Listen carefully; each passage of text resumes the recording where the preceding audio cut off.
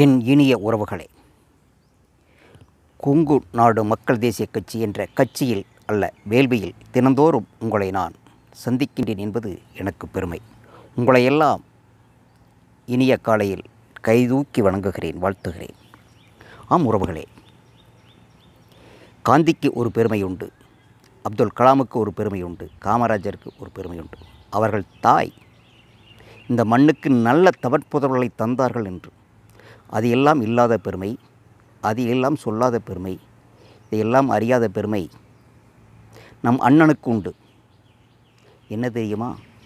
தன் கட்டிய மனைவி தன் கணவனை இந்த சமுதாயத்திற்காக தந்தால் என்பது யாருக்குமே இல்லாத பெருமை அண்ணனுக்கு உண்டு. ஆம் உறவுகளை தன்னை முழுமையாக தந்திருக்கிறார் கொங்கு உணர்வுக்காக கொங்கு நாடு மக்கள் தேசிய கட்சிக்காக கொங்கு வளம் பெற வேண்டும் என்பதற்காக. அந்த உணர்வுகளை நாம் பெற்றிருக்கின்றோமா? என்றால் இல்லை என்பதுதான் கேள்வியாக இருக்கிறது. எல்லோரும் நாம் வந்திருக்கிறோம் எதற்காக?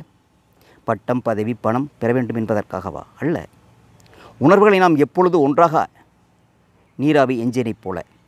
நீராவி எஞ்சின் என்ன செய்கிறது?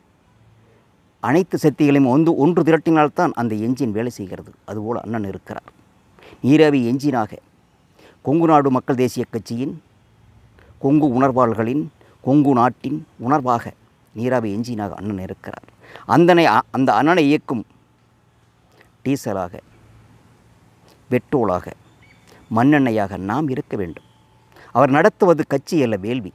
அந்த வேள்வியில் ஒவ்வொரு கட்டைகளாக நாம் இருக்க வேண்டும். அந்த வேள்வி என்ற கொங்கு என்ற உணர்வில் கட்டைகளாக எரிந்து இந்த கொங்கு நாட்டை வளம் பெற செய்வதற்கு நம்மை நாம் அதில் அர்ப்பணித்துக் கொள்கின்ற ஆற்றல் நாம் பெற வேண்டும்.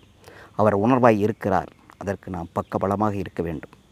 அந்த வேள்வியில் நாம் குளிர் காய்ந்து விடக்கூடாது. அதற்காகத்தான் உங்களுக்கு நான் அடிக்கடி சொல்கிறேன். இந்த தளத்தை நீங்கள் பயன்படுத்தும் பொழுது உங்களுடைய சொந்த லாப நோக்கத்திற்காக பயன்படுத்தி விடாதீர்கள். என்றால் இது நடப்பது வேள்வி கட்சி அல்ல. கட்சி என்பது பணம் பறிக்க பணம் சம்பாதிக்க.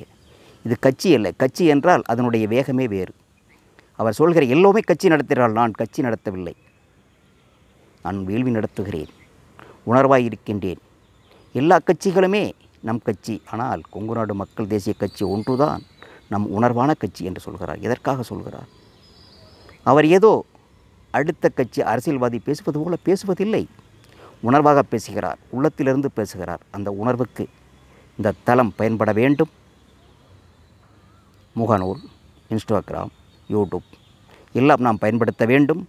பயன்படுத்தி இதை மக்களுக்கு நாம் சென்றடைகின்ற அந்த பணியை ராமேஸ்வரத்திற்கு பாம்பன் பாலத்திற்கு பாம்பன் பாலம் கட்ட அணில் உதவியது போல நம்மால் இயன்ற உதவிகளை நம்மால் ஆன செயல்களை நம்மால் ஆன எண்ணங்களை நம்மால் ஆன சிறு துரும்புகளை நீங்கள் செய்யுங்கள்.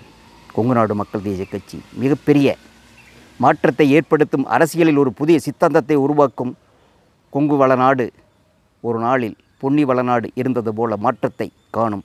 அதற்காக உங்களை அழைக்கின்றேன். வாருங்கள். வணக்கம் வணக்கம் வணக்கம்.